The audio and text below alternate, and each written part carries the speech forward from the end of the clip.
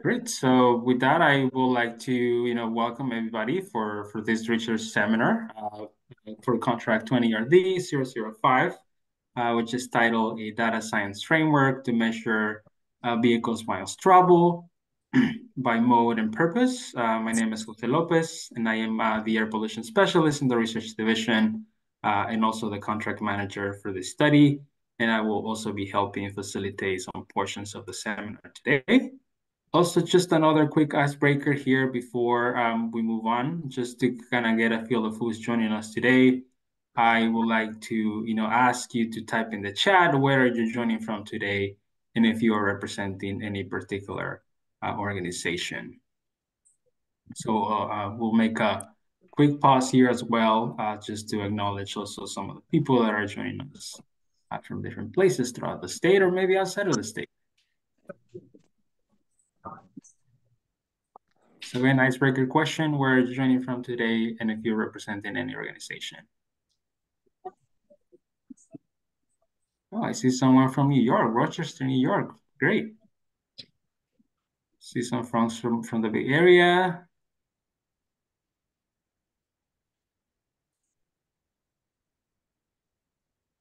Okay. Chicago, wow, great. We're going national, that's great. Newberry Springs, California. Thank you. Bay Area, Sacramento, Caltrans. All right, well, thank you. Keep them coming. Uh, so we, we all know where folks are coming from. I'll just keep going uh, to move forward with their agenda here. So uh, we have uh, some, um, this is basically the agenda for today, and I'll just be sharing some housekeeping items. So as you know, the meeting is being recorded. Uh, and the recording will be made available in CARB's YouTube channel in about one week from today. Uh, also, if you would like to speak or make a comment, I encourage you to use the hand raise feature or type in your comment in the chat. Uh, also note that the chat will be saved as well. Uh, and also this contract has a web page where you can access the final report, today's presentation, and the link to the recording. Uh, these uh, will be posted as soon as they become available. I just wanted to note that the today's presentation is already posted in the in the web page. So, and you can also contact me for a copy of any of these items. Uh, and shortly, I will just be dropping the links to both the contract web page and the YouTube channel in the chat along with my email. Uh, so you can have that information available. After that, I'll in the next slide, I will just provide a, uh, and share a contract overview. Then I'll hand it over to Dr. Marta Gonzalez to begin uh, the presentation. And after her presentation, we will have time for a question and answer period where I encourage you to voice your questions or comments or verbally uh, use the chat, you know, uh, to uh, use the hand raise feature if you wish to speak, and this will help us keep track of all the speakers uh, we have today. Uh, and after that, we'll just wrap it up and begin the, the seminar. Close the seminar. Okay, so this is just an overview, just a little bit about the motivation after this study. So uh, this contract is to support the goals of Senate Bill 375.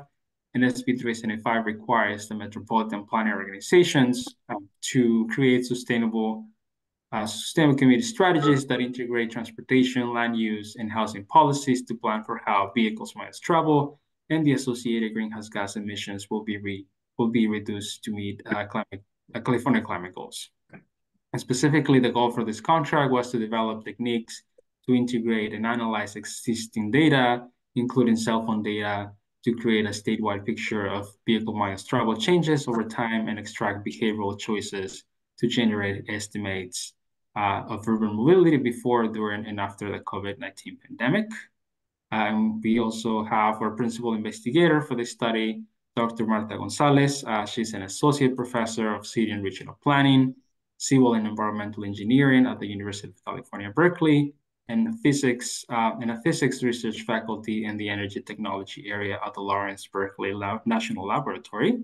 Her research uh, focuses on urban sciences with a focus on the build on the intersections of people with a built and the natural environment and their social networks. And she has also developed new tools that impact transportation research and discover novel approaches to model human mobility and the adoption of energy technologies. And now with that, I'll, I'll hand it over to Dr. Marta Gonzalez to begin the presentation. and tell us more about these projects and the findings. Thank you, Jose. Uh, thank you, everyone. Um, Jose, do you recommend that I take uh, questions as I speak, or we should uh, leave the questions for the end? What is the usual practice you do? Usually, I think at the at the end, unless there's any clarifying questions, then folks can can, can do that. Okay. Yes, it, it was a several task project. It's long, so I, in theory, I have one minute, one hour to present, or one hour fifty minutes to present, and then thirty minutes for discussion. Is that the agenda, or or what do you suggest? Yes, yeah, we have until four thirty, about an hour, twenty minutes. Yeah. So. Exactly, that's what I thought. Then, but please in order to make it uh, me talking for the next 50 minutes, I would really love some interruptions if you if you would like to um, to have any clarification question and we'll have take your note. We'll have plenty of time for discussions uh, later. So let me get started. I'm very excited to be able to work with uh, CARB, uh, ARB. Uh, I was before in Massachusetts, and then I feel really, I'm really in California when I am working with a local agency. So I'm very happy of this opportunity my group had. And as Jose uh, said, we did a data science framework to measure VMTs by mode and purpose with location-based service data.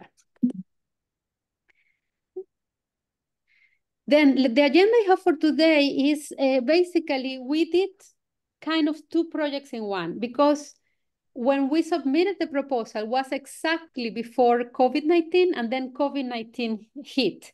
Then we kept the original question and we extended the project to incorporate that crazy natural experiment that COVID is or COVID was. So basically, um, the first goal, and I'm going to be spending some time on that, is to see how good LBSs are because CDR is a is your phone that communicate with an, an antenna and you can last with your same phone number for years. And that is not optional. For building purposes, you we are being tracked in our antenna uh, resolution. And most of the people have a phone, and it doesn't matter if it's a smartphone or not. The, the, the other data set is LBS. Google. sometimes Fridays, maybe Tuesdays. Oh, excuse me? Is that a clarification question? No, it's a unmute mic. Um, okay. okay. The, is, am I getting a question? Right. If you're, if you're, yeah, I don't think so. If you please, please, uh, if you unless you have a question, if not, just go ahead and mute yourself. Okay. Thank you. The LBS is apps, smartphone apps users that sometimes you can opt out.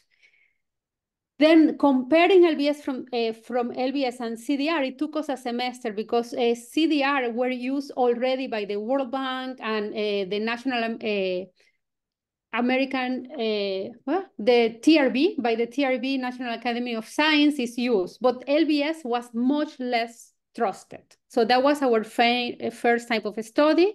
Then we used the changes in VMT through the COVID-19 period and the changes in trip purposes as well. And interestingly, we were seeing where people move from homes, uh, from houses in the COVID-19. So step two to four were already with LBS data after we validated the use uh, of LBS data. The fifth question was the more ambitious one and is if you have a policy intervention, some transportation related intervention in a zone, can we uh, see the changes in vehicle user rate? That is the last uh, piece of research I'm going to show you.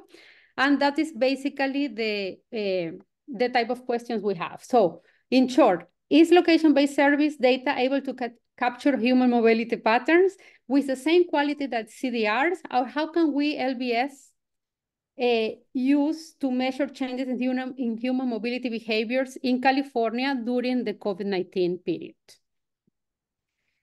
And this is uh, what I mentioned already. CDR has been validated and studied worldwide, worldwide, and LBS is just recently become available.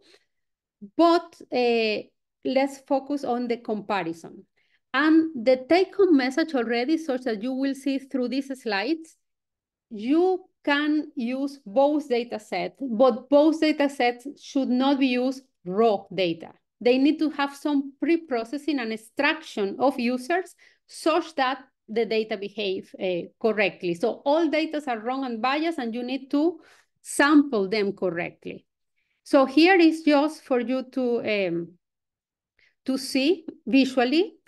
In the right-hand side, we have the CDR data, and what we got is from the same area, that one shown in the map, seven months of anonymized individual uh, users from CDR, and you would have a location time span every time the person send a text, a voice call, and any data traffic. So every time you use your phone and the company records that for billing purposes, we have longitude, latitude of the antenna that provided the service and uh, the timestamp. The spatial resolution is the antennas. So antenna ID that are the blue. As you see, uh, as a take-home message, the antennas are usually located every 5,000 people. That's why you have many more in the dense areas. And then they follow nicely the census tract, which on average also have 5,000 people. Then the LBS, we have six months, same location, anonymized. We have the entire California, but CDR, we only had a Bay Area. Then we're going to do the um, comparisons in the Bay Area. And the accuracy is much higher. So LBS have that advantage. It's GPS-like, if you think. It's not a perfect GPS, as you will see, but the, the resolution is much higher. Then what are we going to be comparing against? We're going to be comparing against the accepted truth of commute, commuting, that is the census transportation planning package. Here I'm showing as an example the percentage of flow quantiles in the entire state. Uh, and the data that we found available from the CTPP is not too new, is from 2012 to 2016. It's good because it, it is uh, updated uh, in that period from the 12 to the 16, but we didn't find a, a more recent data set. And you can uh, aggregate the flows either track to track, place to place, county to county, or a, a task to task. We'll use this as a benchmark to compare both of our data set after we treated treat them properly for the purpose of detecting mobility patterns. Then what means treating the, the data properly? As I mentioned, every time you use the phone, they use it whenever they want, every user. We have a, a timestamp location. The first uh, activity you do to the data, the first uh, exercise is detecting if somebody is moving using your phone and you are moving or you are in a given place. Like me speaking to you right now, I could be using my phone but I'm not moving. So that is detecting the states. Then after we have the states, based on when the person goes to that state, we do work and home detection. This is not something we can check with the users. That's why we call it an imputation of home and work. And after we do that, as you may be thinking, not all the, the there is not one carrier that has the entire population. And in the case of LBS, there is not everybody that have a, a app uh, being tracking themselves. To use this for transportation demand modeling, we need to expand the mobile from users to total populations. And I'm going to be showing you in detail what is the expansion needed in each of the cases. So the state of detection procedure is uh, graphically represented in the right-hand side. It's only one user. It has the raw records in blue Notice the blue dots are still records from the user. And uh, state detection is needs two parameters. A spatial resolution that is up to us. We use H3 uh, level 9, that is 0.1 kilometers. This exabeams from uh, Uber to mark the zone where the person stay more than a certain time. So that there are records that are within a distance within a given time. Then like for example, me talking from here, I'm going to be sending a signal and it's very short distance within 0.1 kilometers and a, a consecutive time that are close to each other. So then we have all the raw records and some of them is the person is staying in a location and some of them the person is moving. And that is very useful because we take advantage of both type of records al along this project. Um, the exabeam tessellation is for the LBS because in LBS you have longitude, latitude, you don't have any antenna related uh, data. The CDR data, call detailed records data, is in the left-hand side and look the beautiful tessellation. And we don't know, we know only the centroid of these cells. So in rural areas, we cover much bigger regions with only one longitude and latitude. And again, this is acceptable because it's like you would be doing travel at the resolution of census tracts. That is usually uh, not too different from the traffic assignment zones. And again, H3, Uber tessellation, 0.1 square kilometers, CDR, uh, antenna records. And then we define the states between this uh, unit of analysis in each case. So the resolution is different and we treat them uh, each one accordingly. So we don't lose the resolution of the LBS, we keep it.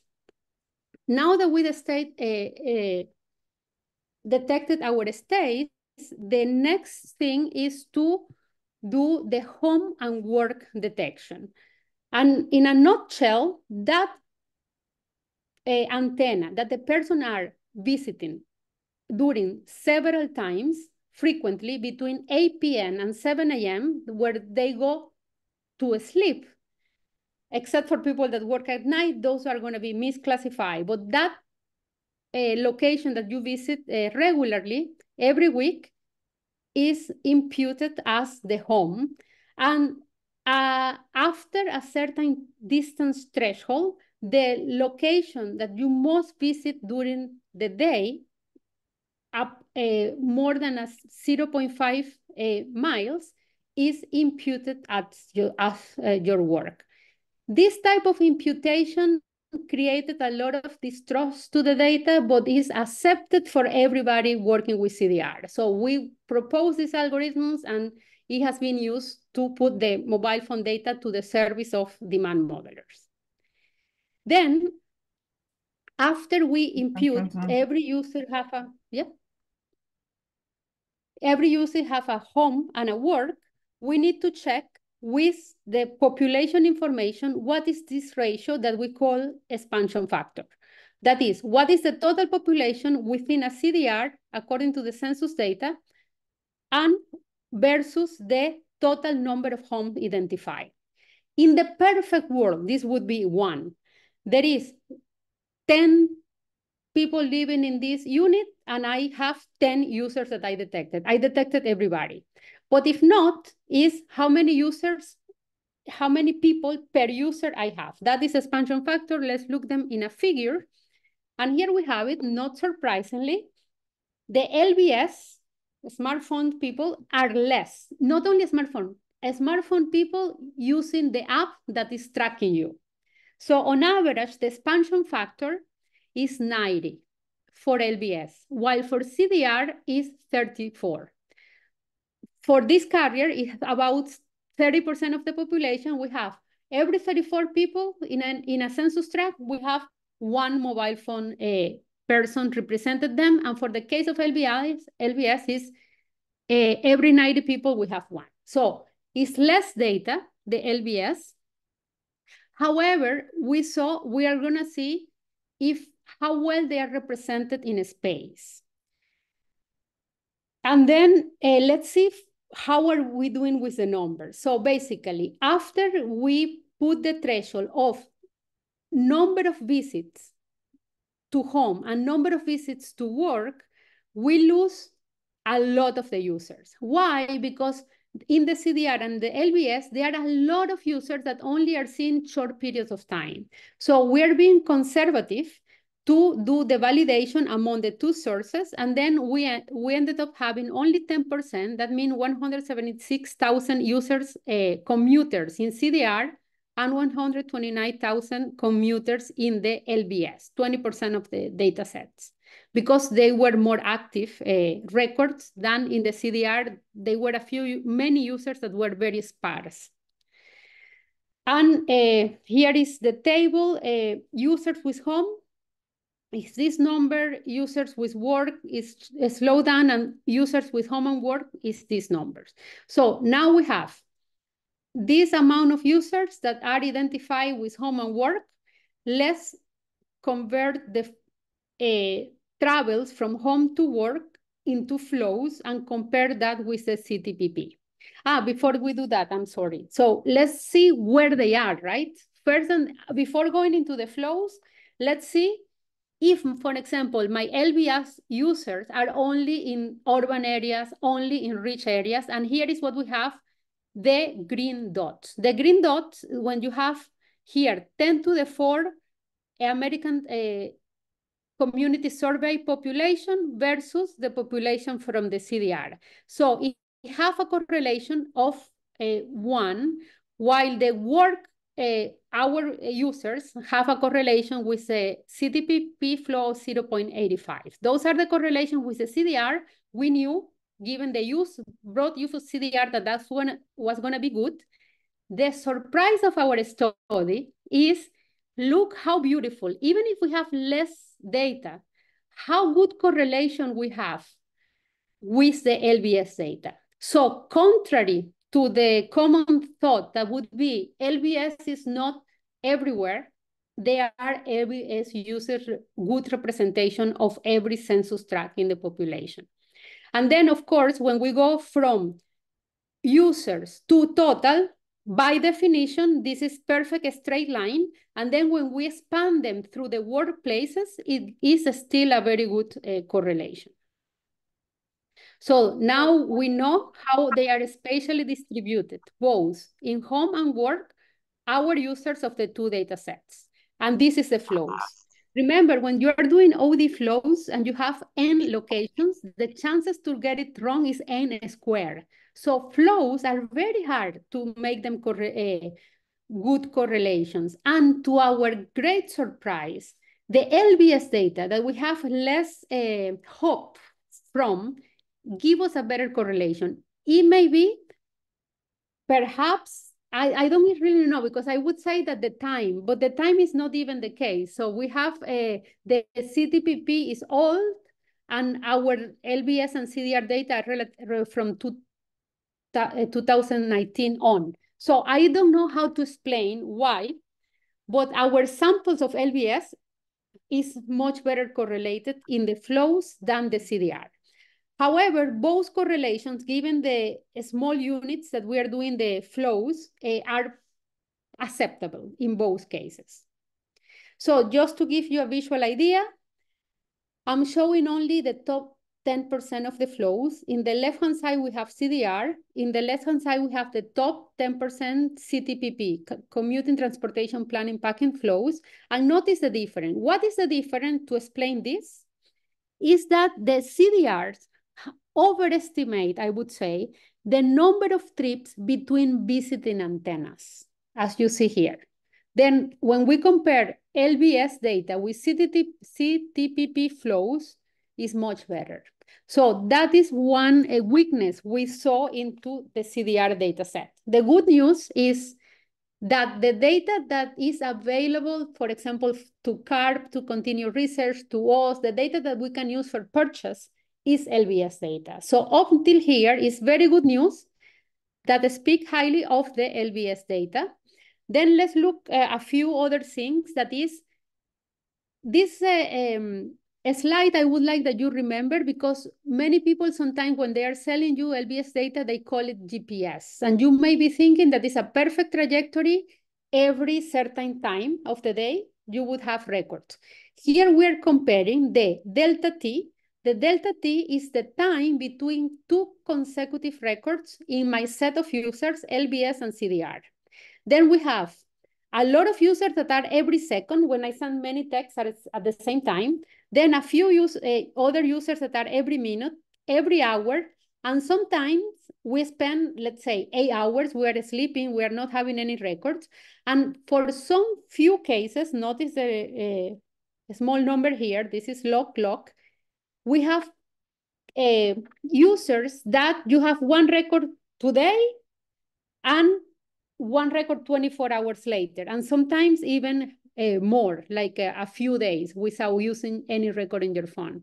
So this power law-like behavior of the inter-event time between records is called burstiness and is observed very similar both in CDR and LBS. So sparse temporal red data is present in the two sources.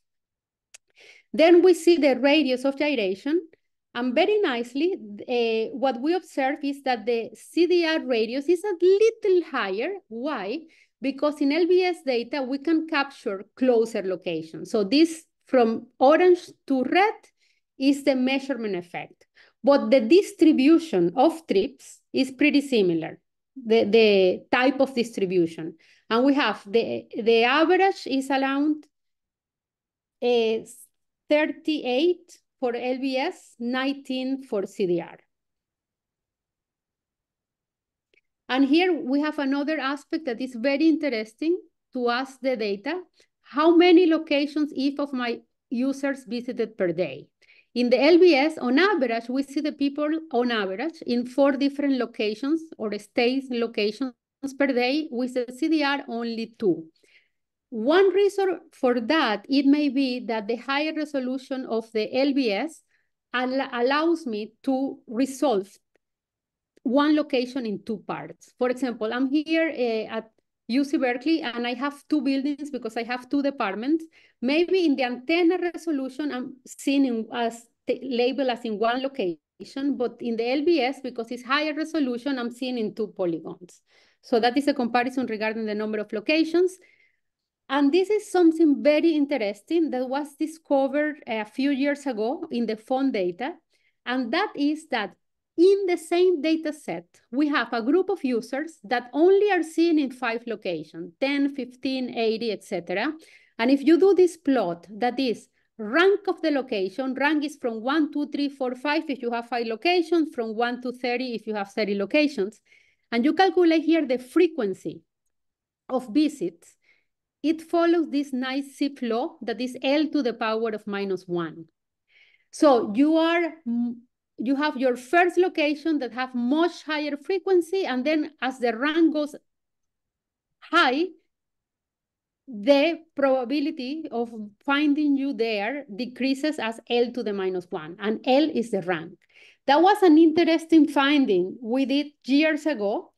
What is beautiful is can be after you parse the LBS data, it can be found in LBS. So this is a 10-year-old finding in CDR is a new finding in, in LBS. So from all angles, I am looking at the data. After you parse the locations, it is as good as CDR to do eh, a, a mobility model detection. This is the distance of travel.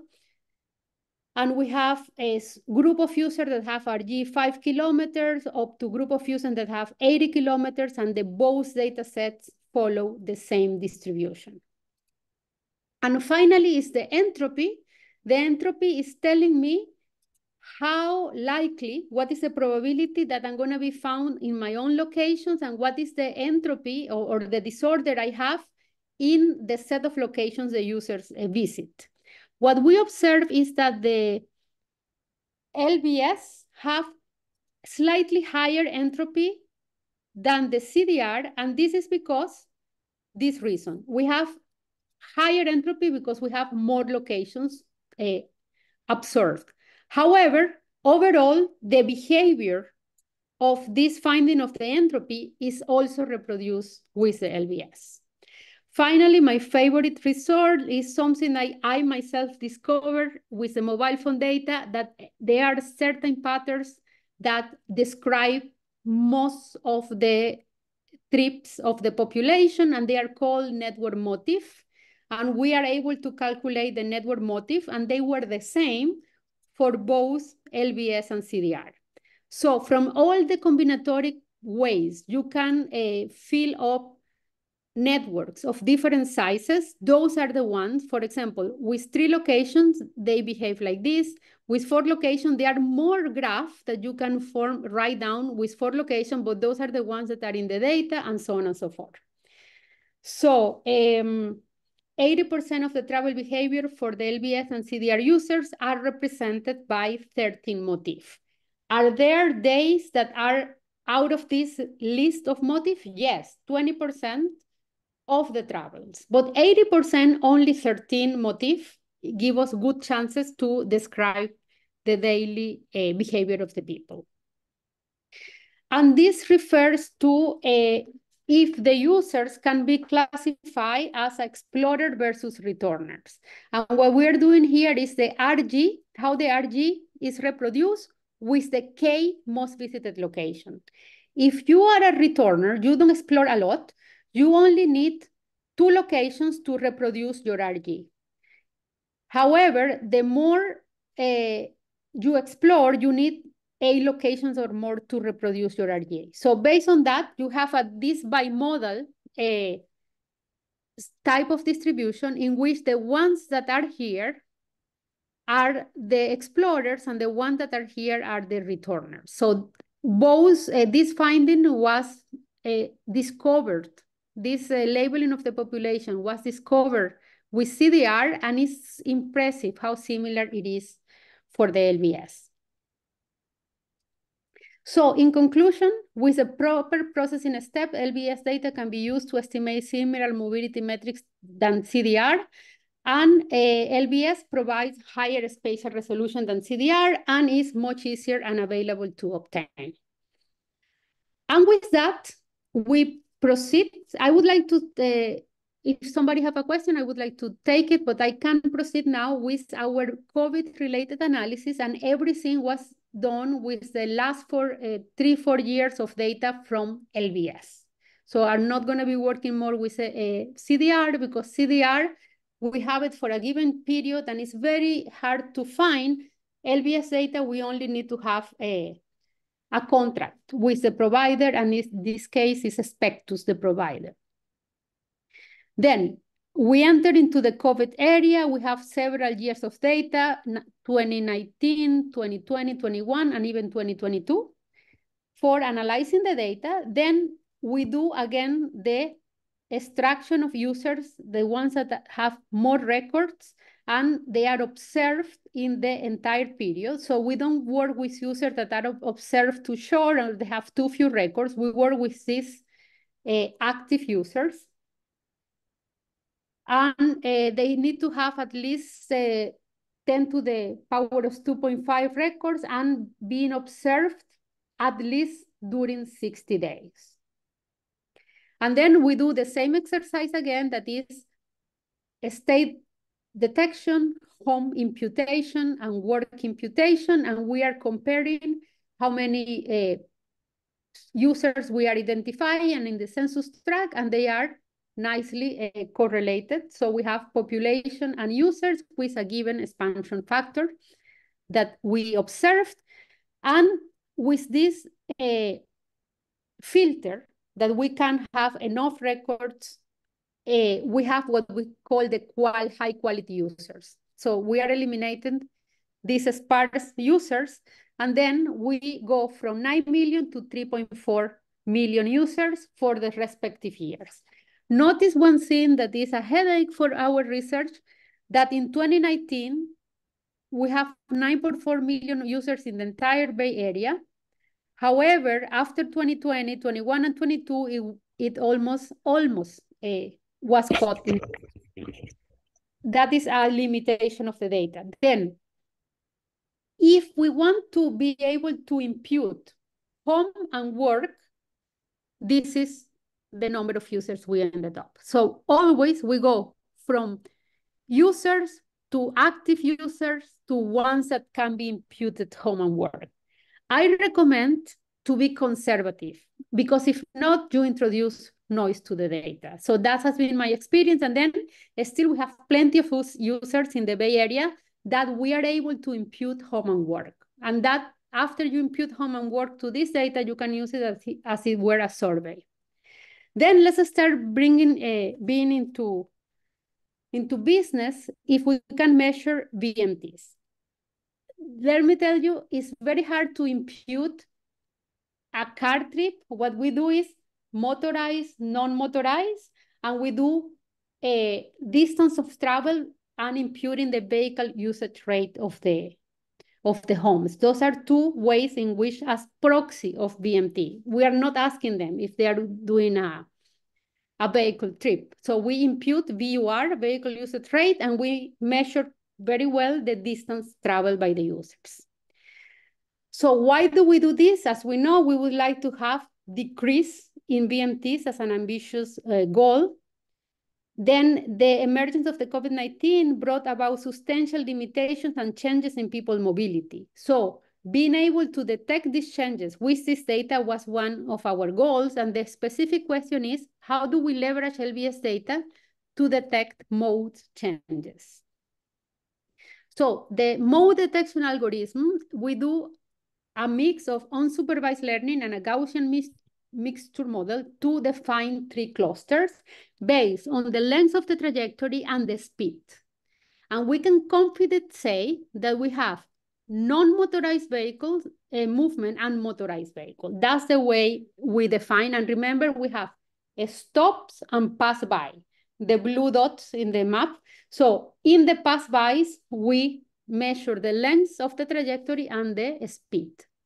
Pretty uh, simple. And then the distance, we do the radius. So we do all the distance of a given location where the person is minus the uh, location of the home and we do the square uh, of that. So we add all that. This is weighted by the number of times you are in the given location and we do that average. So in average, the RG tell us the average distance from home that the person has been uh, traveling.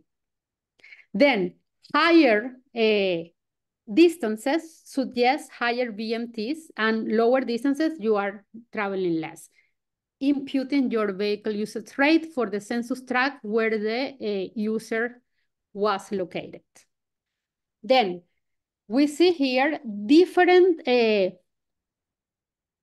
places in California, and it's fantastic to see how we have how we compare with the RG that we have in January 2029. And then we see how that changed in 2020. And it's incredible how we are all synchronized. We are uh, tracking the users that live in Imperial, in LA County, in Orange County, in Santa Barbara, Fresno, etc. And in all these counties, it was it go all down at the same time, goes up, goes down, and goes down again. Because here was a, a, another uh, wave of infection. So we look at this carefully, and the only thing we could conclude is that uh, the changes in percentage of, of RG were higher with county areas higher. So that means more rural. More rural counties have a little higher uh, uh, change in RG. No, no, excuse me, excuse me, it's the other way around. Rural areas were less uh, prone to stay at home. So we have smaller county areas are urban and then they we was staying everybody at home, like up to 50% less in RG.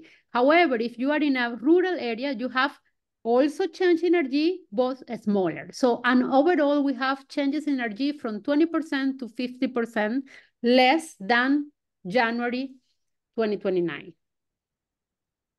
Then we can see these changes of travel pattern, both weekend and weekdays. Then we're having here the weekly patterns. And we see nicely that people was more prone to be at home on Sundays than weekdays and Saturdays during the pandemic. So we are showing here eh, the whole year 2020. And then we check, try to find something uh, based on the income group. So we are uh, changing the average VMT per capita, and we are seeing uh, the different uh, quantiles of income, less than 40,000 income in the tract where they live, or more than 100,000. And we see that there is slightly, slightly uh, more VMT per capita if you have in the higher uh, census tract income. However, notice the big error bars. So what happened here that more than income, what it matters if you are more urban or more rural in this VMT per capita. Then let's talk about trip purpose. And then how we define trip purpose. So we define commute as a trip that start at home and ends at work and home, and then we have the commute networks. And then within the commute networks, we extract clusters, also called community detection, that is based on the modularity, and the modularity is the degrees to which a network can be partitioned in the subsets. And we apply the Louvain method, that is a, uh, is a method to cluster networks. In networks, the, the clusters that are uh, places that have many trips to the inside and to the outside are called communities. Then, first we observe the state-wide trends and we see the sharp reduction. This how cool the data tell us. All these peaks down are uh, either weekends or holidays. And then we see also the state-wide uh, shelter in place. And when we say we are labeling the trips by purpose, we divide non-work trips, is a big fraction. We have uh, work trips in red, with clearly cut in the, in the holidays. And we have the ratio of home, uh, of work to non-work trips. So being able to label the trips by purpose with LBS was one of the goals. And here we are showing that it, it have a very reasonable behavior. And then when we were looking how this changed into COVID, basically these are not very friendly uh, trips, but what this tells you is a uh, few things. The work locations are less concentrated during COVID-19 across four regions in California. So they are uh, more spread apart. So people would go to work in more spread apart uh, distance. Uh, nicely, we could see the same levels of 2019 only in 2022 that are the red and the blue plots. 2020 and 2021 were different already. People was still not having the same type of flow. And uh, the transition to remote work affected the areas with much offices, of course. Then let's do this community detection analysis I uh, described before. The nodes are the, the polygons where we have uh, the different travelers. The edges means the number of uh, that there exists a travel between them. And the communities are zones that are connected by commuting travels. Excuse me?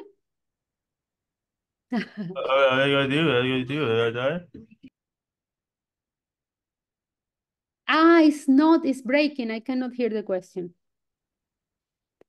The modularity is around 0.6, that is acceptable result. And here we have the uh, how it looks like. And interestingly, what happened in 2020 is that, for example, what we see here in yellow, there are a lot of trips to the region more than to the outside. And then we have here the North California, we have the LA region. So this is partitions of the map that are based on trips.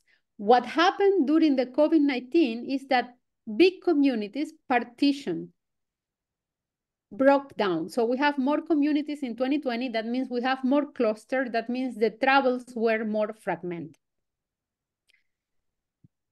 Then the next uh, task we did is during COVID, that was a question that was only meant to be during COVID, is what happened with the people? Did they change locations? How many changes? Because again, this is a typical thing that we feel that something is happening, but can we quantify it?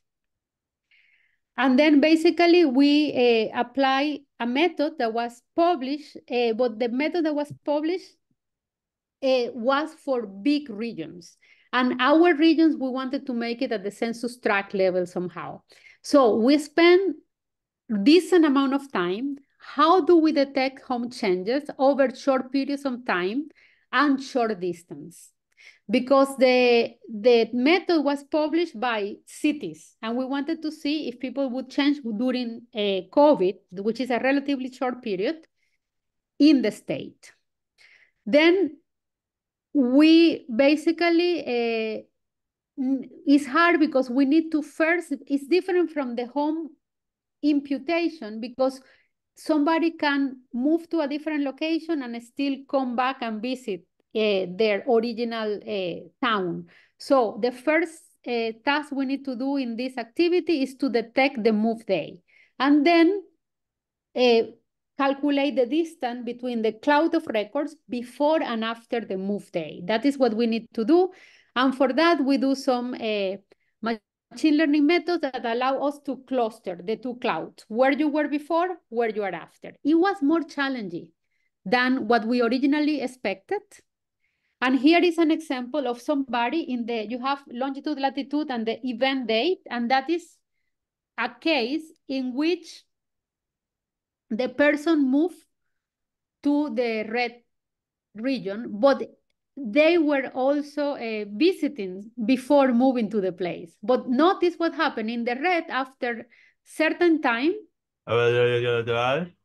it doesn't, uh, it doesn't appear uh, anymore in the blue region. Then the way we would validate uh, let me tell you some numbers here.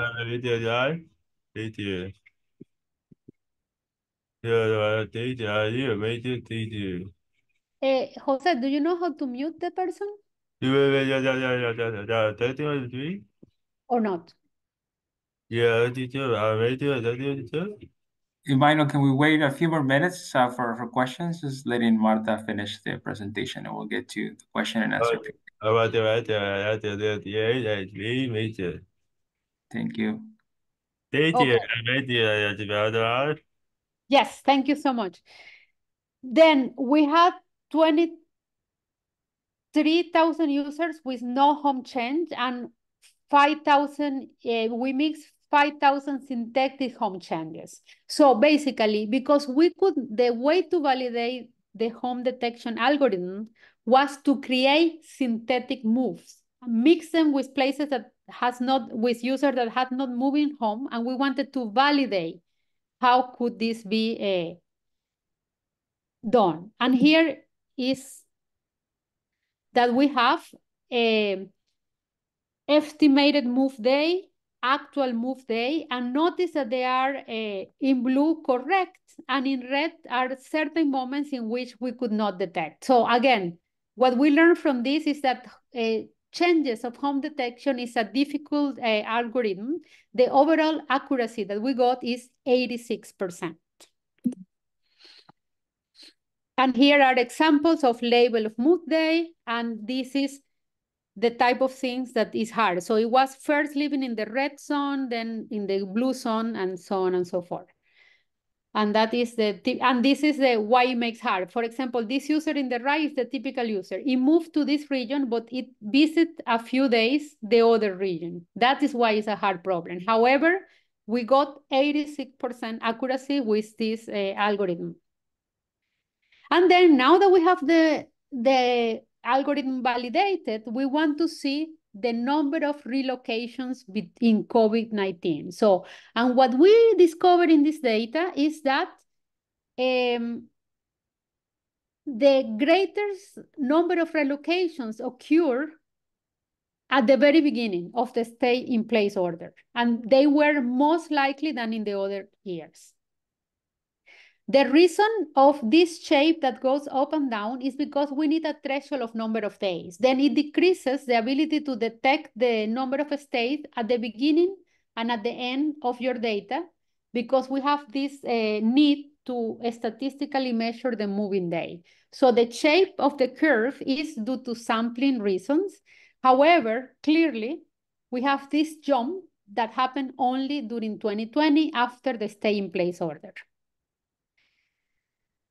So here are uh, the 20 percentile uh, below uh, income level and the 80 percentile above the income level. And what we see is that we don't see um, a strong correlation between income and the changing of home.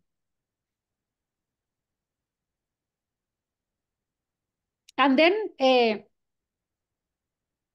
perfect. Uh, we are, I'm, I'm about to finish uh, the hour speaking. Then we have 30 minutes for questions, but then I can tell you a little bit about the most ambitious question that this project has, and it's very useful, is bringing the phone data to the limit that is how mobility policies in, can uh, affect the change in vehicle usage trade. That is the question we wanted to address. And this is the first time I've seen uh, that is being done in the US for, for mobile phone data for this question. Then basically, let me the, tell you the, the terminology. We have GMM based mode detection. Then we use a Gaussian mixture model to detect the motorized, non-motorized trips. So we apply this again for the policy uh, related scenarios. We define VUR as a percentage of all trips that are motorized. We do bootstrapping to create distribution of VUR, of VUR.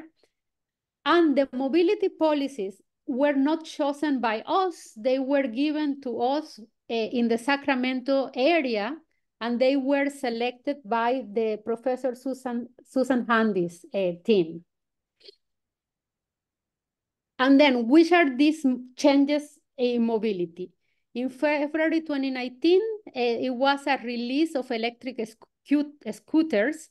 In March 2019, it was uh, the release of GIG cars in the area. In June 2019, we have other uh, fleet of electric uh,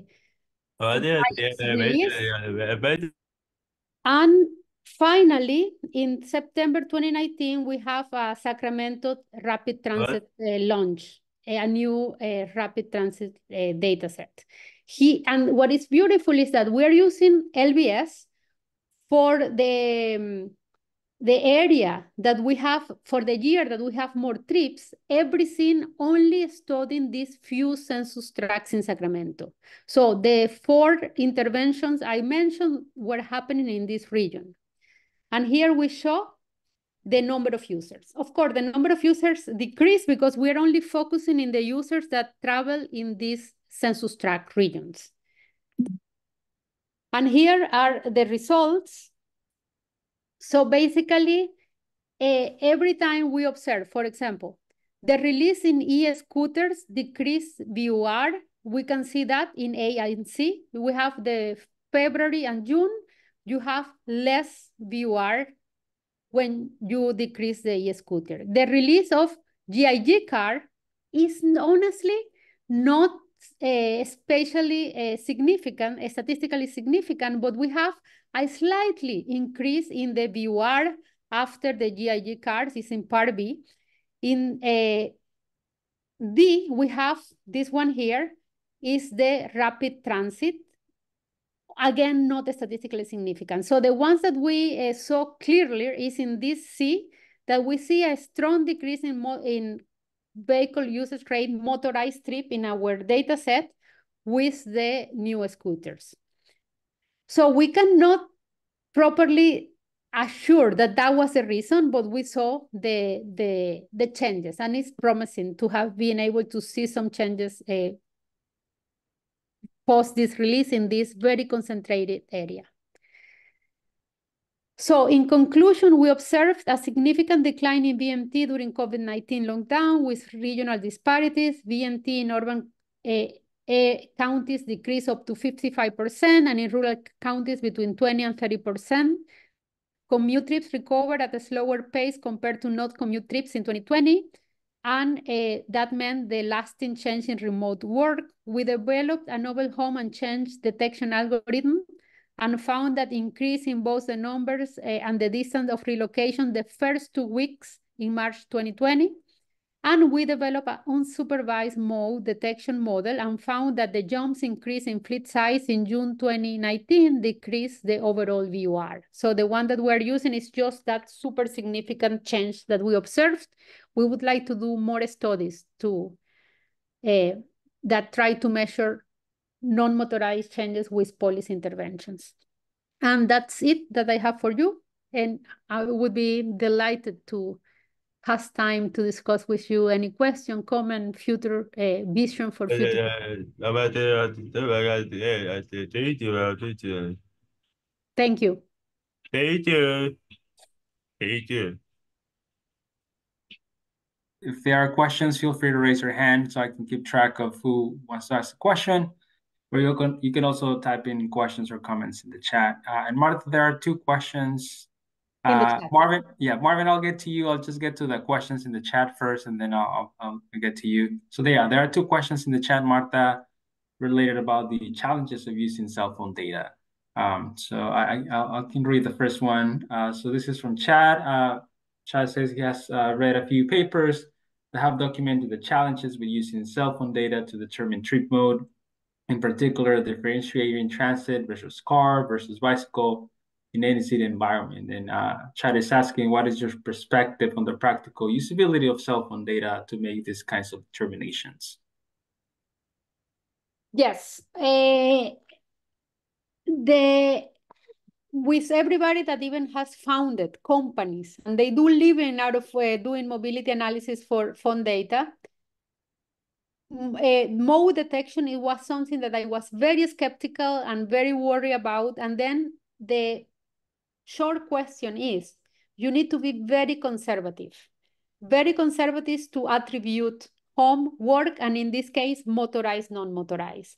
So in this research, I learned that with LBS data, yes, you can label motorized, non-motorized, and you lose a lot of users in the in the way because it have to be long travel, high speed. That is for sure. It's no way it was non-motorized. And that's the way we uh, uh, we capture that. And then the other stream is home and work, the label locations that we have, homework and other, that occur so slow and they are relatively short, that is motorized. So it can be done with LBS data. We did not do it with CDR because CDR is a jump from one antenna to another antenna it may be very uh, very long trips that could be uh, with CDR.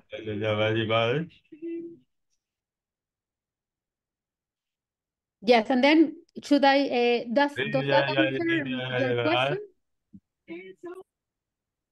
Yeah, I'm a thank you. Yeah. Thank you, Manuel. Uh, yes, the, the other question, Marta, you want me to read it or? No, I can read it. So okay, great. you Thank discuss you. the challenges with using cell phone. Okay, to create trip tours for use in activity-based models over the traditional four-step model, home-based work, etc., and return trips. Post COVID-19, it would be seen like trip tours would would have changed significantly than they were before their home and work locations being the same. The First validations and studies uh, with mobile phone data, it was homework other four-time step.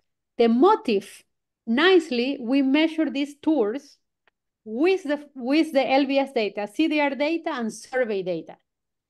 We did not pay attention, thank you for that question, to see how the motive would change uh, post-COVID. Definitely during COVID, we would be seeing changes. But yes, based on my experience with the data, if you Uh, detect uh, thanks to the fact that I, I uh, did, I don't know, wait, do you, watch? that people repeat the location, so you can level these preferred locations based on my uh, frequency plot. You can measure trips, uh, tours, and those are measured through the individual daily motive. Great, thank you. Again, if you have a comment or want to have a question, please raise your hand or type it in the chat. Uh, Marvin, you're up. Yeah, thank you. Um, thank you for the presentation.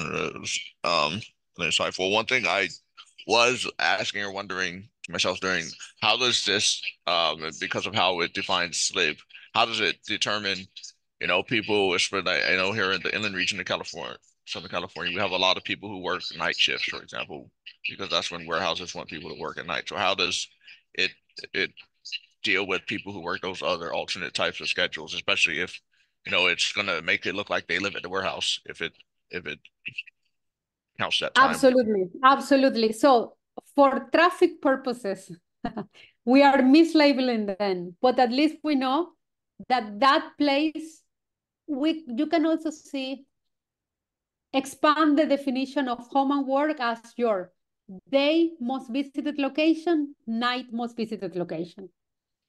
Because we didn't use other aspect of the work. So it's where the person is going to be found at day and at night. And it, it, it was a flaw between these two locations. But you are absolutely right. That was part of our concern too.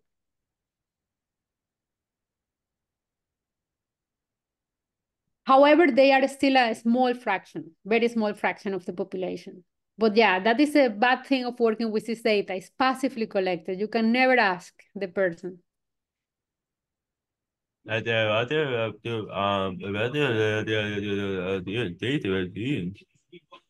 data review. Data review.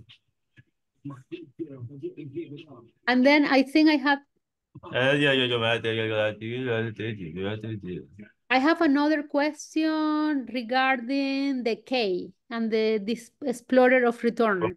So basically, depending on the case, so you explore. It's not that I select four versus, uh, so let me repeat the question. The question is, how did you decide use K2 or K4 for returner or explorer from slide 27? So basically, K2 is some group of users. So in the case of K2, you need two locations to describe your RG. Those are first group of returners. Then K4, then you lose the a certain group of returners. So that means you need four locations to recover your, your, your RG, so on and so forth. So we have degrees of returner of an explorer. So we just experiment with all the case, and they are the most returners are in this group. And after you have eight locations, you almost do not have anybody in this group, except with the LBS data, because as we know, LBS data has more visited locations.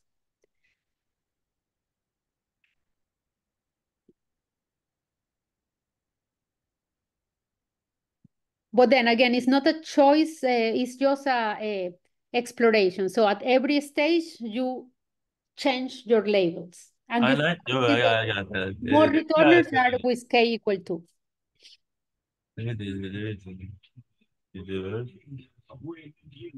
Emmanuel, sorry, we have a hard time hearing you. I don't know if you can uh, type your comment or question in the chat.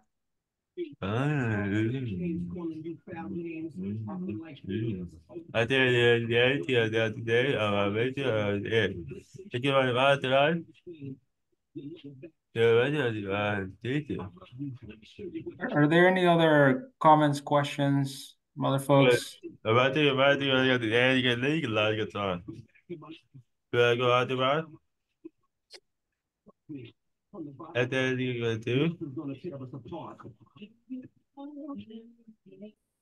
Marvin, is that a hand from before, or you still have a question? Oh yeah, sorry, I forgot to lower it. No worries.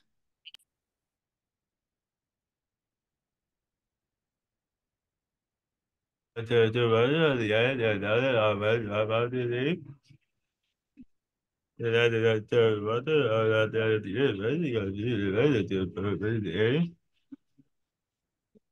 Sorry, Manuel. I have a. I, I'm really. I really apologize. I'm really sorry. Uh, I don't know. If, Would you like to chat? I would, I'm curious. I would love to uh, hear your question. Is it okay you write it in the chat? About the radio at the end of it, it's a bit you got to do at the end. That guy the other way. Here,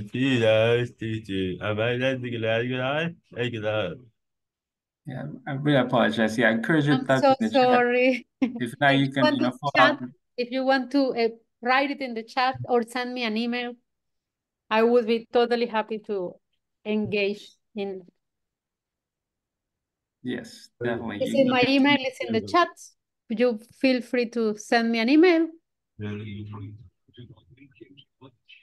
Thank you, Manuel. Any other questions, comments?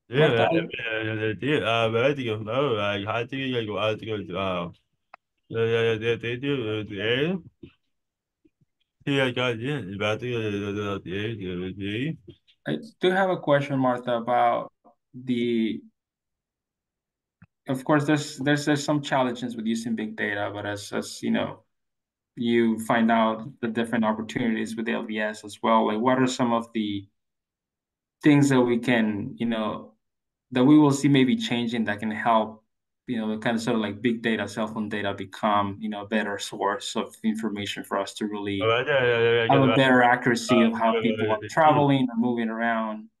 I think- uh, by doing this exercise, publishing these results, what we can do is that it is possible to trust the models when you have total demand models like the one that Replica is sharing. Is is LBS, I would give green lights. Then, as I see, is that we as a community can spend much less time calibrating these models or buying these models and start already thinking in the applications. One dream application I would like to have is given the flow, realistic Okay, flow okay, in a region, Berkeley downtown, what happen if you reduce parking? What happen if you uh, reduce the use of streets? How is going to affect traffic? So already because we have numbers of the travelers, we can uh, go ahead to the, the the things we need. If you put more buses, where I would put more buses. So going with the planning interventions and see the difference because now we don't have so much time spending in the calibration of the models. You have million of flows. Now let's do, okay, given this demand, how we alter the opportunities for travels to go to serve less VMTs, for example. That's my vision these days.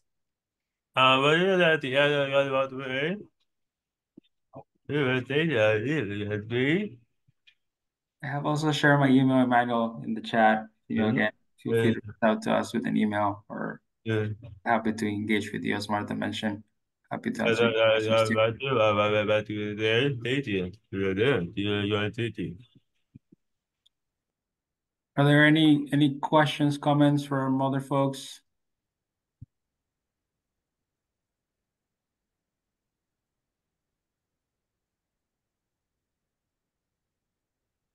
And uh, do about you, uh, do uh, the other guy, thank you. Thank you. thank you.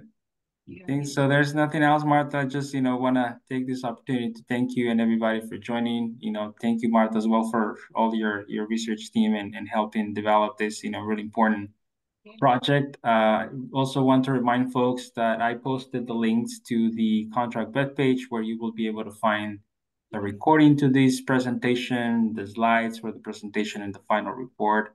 Uh, so those are available in the chat here. And as always, our contact information for myself and Marta is also in the chat. So feel free to reach out if you have any questions. Uh, and with that, again, Marta, thank you so much. And thank you everybody for joining us today.